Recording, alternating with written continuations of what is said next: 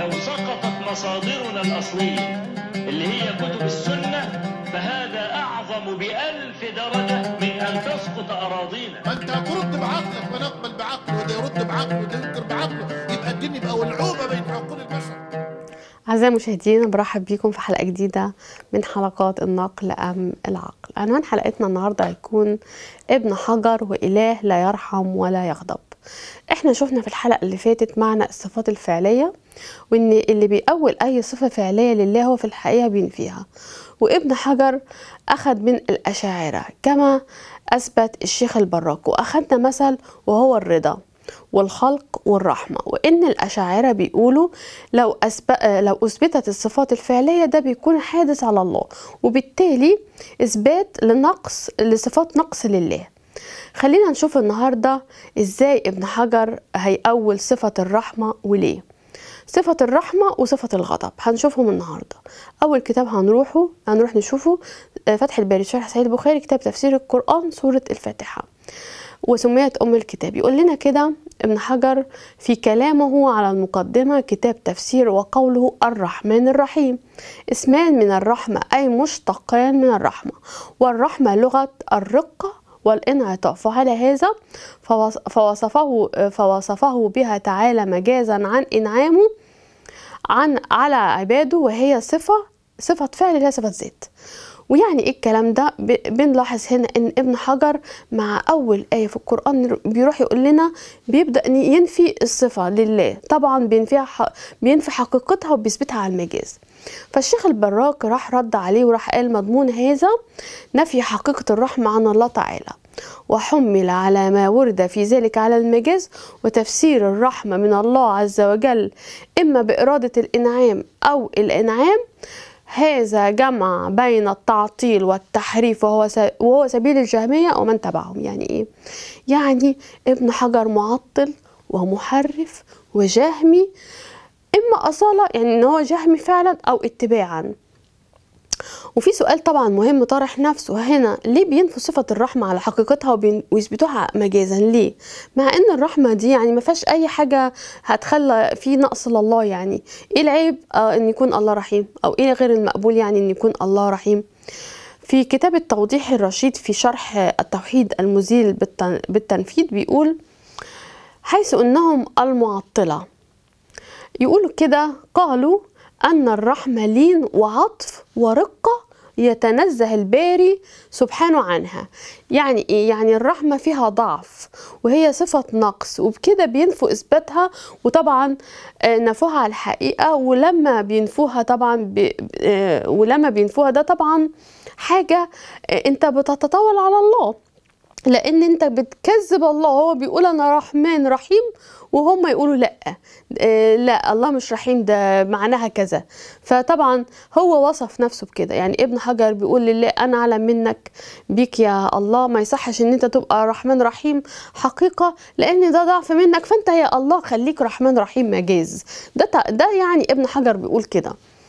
خلينا نروح نشوف كتاب فتح الباري بشرح صحيح البخاري كتاب التوحيد باب قول الله تعالى قل ادعوا الله أو ادعوا الرحمن أيما تدعو فله الأسماء الحسنى قال الحافظ ابن حجر قال ابن بطال والمراد برحمته إرادة نفع على على سبق علمه أن ينفعه وقيل يرجعان إلى معنى الإرادة فرحمته إرادة تنعيم من يرحمه وقيل راجعان إلى تركه عقاب من يستحق العقوبة راح الشيخ البراك معلق على الكلام وقال تفسير الرحمة بالإرادة يتضمن نفي حقيقة الرحمة على الله تعالى.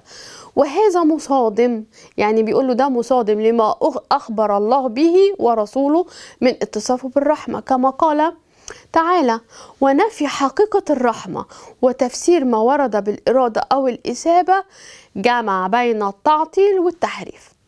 طبعا يعني معنى الكلام إن ابن حجر فسر الرحمة مجازا بالإرادة. وده بيعتبر مش بس مصادم لأ ده تكذيب صريح لله وللرسول لأن ابن حجر بينفي إن الله رحيم. وده طبعا كلام إيه؟ الجهمية. خلينا نشوف فين الكلام ده. في كتاب شرح كتاب التوحيد يقول كده ثم الجهمية وفروخهم متفاوتون في هذا الإلحاد الآن يقسم الجهمية يقسم الجهمية معتزلة هم بيقولوا يعني جهمية معتزلة أشاعرة كلا- كلابية ماتريدية كلهم يشتركون في نقطة واحدة وهي التجهم كلهم جهمية كل الفرق دي جهمية. الأصل المعتزلة جهمية والأشاعرة جهمية والكلابية جهمية وإنما يختلفون في بعض الفروع في بعض الفروع. الأصل متفق عليه وهو نفي الصفات. فما أثبته الباري جل وعلا أو أثبته له رسوله جميع الفرق جميع الفرق هذه لا تجعله أصلا ولا تلتفت إليه ولا حجة لكتاب ولا سنة ولا لقول صحابي آه، يثبت أهل الس- السنة الصفات الفعلية لله وينكر ذلك الجهمية والأشاعرة والكلابية معتمدين على أصل فاسد يعني إيه الكلام ده؟ يعني اللي بيكذب الله ورسوله يبقى إيه؟ يبقى كافر وده بنلاقيه في كتاب آه، آه، في كتاب مواهب الجليل في شرح مختصر خليل بيقول كده وصف الله تعالى وصف الله تعالى بالرحمة. إنه مجاز اعتزال وضلال. بإجماع الأمة فإن الأمة أجمعت أن الله تعالى رحيم على الحقيقة وأن من نفى عنه حقيقة الرحمة إنه كافر. شايفين إزاي قد إيه يعني الأمر وصل بيهم إن قال كل الفرق. لو انت قريت في فرقة فرقة جهمية كلابية أشعرية معتزلة كلهم بيتفقوا على نفي الصفات. وفي الآخر شفنا إن يعني إيه نفي الصفات؟ يعني إن اللي بينفي الرحمة على الحقيقة ده كافر. وإحنا طبعا أثبتنا إن ابن حجر بينفي الرحمة. إما صفة ذاتية أو صفة فعلية آه، حقيقية ومش بيثبتها إلا على المجاز وكده ابن حجر مكفر. طيب إن كان الله مش بيتوصف بصفة صفة ذاتية أو فعلية يبقى كده إيه؟ آه، يعني مش مش بيتوصف بصفة الرحمة لا ذاتية ولا فعلية. كده يعني ممكن نقول إن الله مثلا بيغضب غضبان على طول أو بيغضب. نروح كده نشوف صفة الغضب وابن حجر قال فيها إيه؟ فتح الباري بشرح صحيح البخاري كتاب التوحيد باب قوله تعالى ولقد سبقت كلمتنا لعبادنا المرسلين. ابن حجر بيقول إيه؟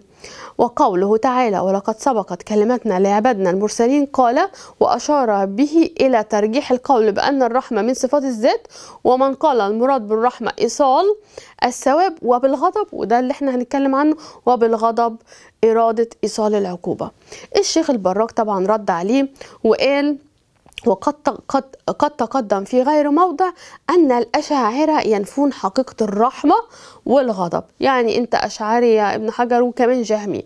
ودي طبعا المفاجأة إنهم نفوا الرحمة. طيب يبقى الله بيغضب بس قالوا لا ننفي كمان الغضب. يبقى كده بينفوا الرحمة والغضب حقيقة.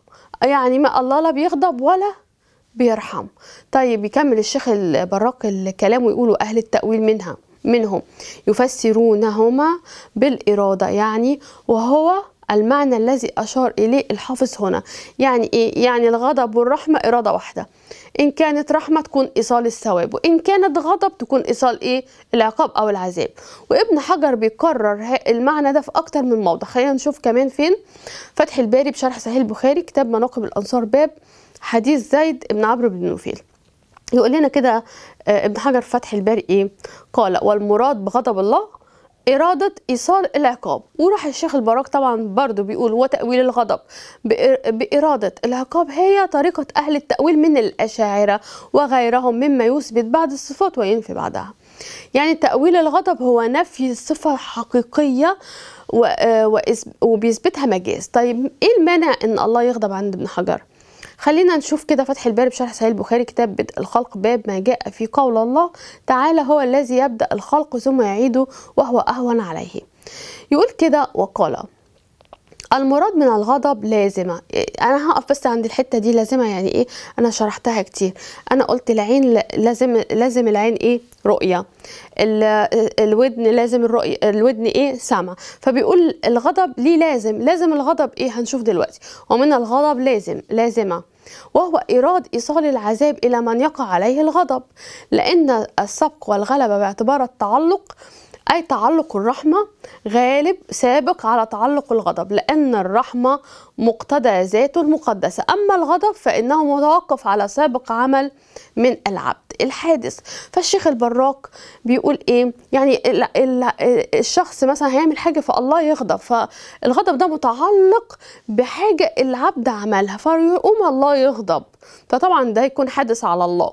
فالشيخ البراك بيقول إيه بقى؟ والموجب لذلك عند من تأوله هو امتناع حقيقة الغضب في حق الله تعالى لأن ذلك بزعمهم يستلزم التشبيه وبهذه الشبهة نفى الأشاعرة كثير من الصفات ونفى الجهمية والمعتزلة جميع الصفات. يعني مش عايزين نشبه الخالق بالمخلوق فننفي عنه الرحمة اللي فيها لين وضعف والغضب كمان لأن اللي يغضب الدم طبعا كده بيفور في دماغه ووشه بيحمر والله طبعا مش زي الخلق إذا الله مش بيغضب. خلينا نلخص حلقتنا النهاردة كان بيتكلم على إيه؟ اتكلمنا النهاردة عن صفتين من الصفات الفعلية. أول صفة كانت الرحمة والتانية هي الغضب. وشفنا ابن حجر أول الرحمة فسرها بمعنى الإرادة. والمراد بغضب الله إرادة برضو إيصال العقاب. وشفنا إن أهل السنة إزاي قال آه إزاي قال إن أي حد بيعمل كده بيكون جهمي وإنه مكفر وإن بسبب وإنه بي آه يعني آه يعني بيكون مكفر وطبعا ده جهمي. وأنا كمان أنا بقول للمسلمين أنتوا إزاي بتاخدوا من واحد جهمي مكفر يعني بينفي الصفات الفعلية عن الله. شرح أهم كتاب وهو البخاري وده أهم كتاب بعد القرآن. وألتقي بكم في الحلقة القادمة ونواصل مع بعض عقيدة ابن حجر. لو سقطت مصادرنا الأصلية اللي هي كتب السنة فهذا أعظم بألف درجة من أن تسقط أراضينا. ما انت هترد بعقلك ونقبل بعقله وده يرد بعقله وده ينكر بعقله. يبقى الدين يبقى ولعوبه بين عقول البشر.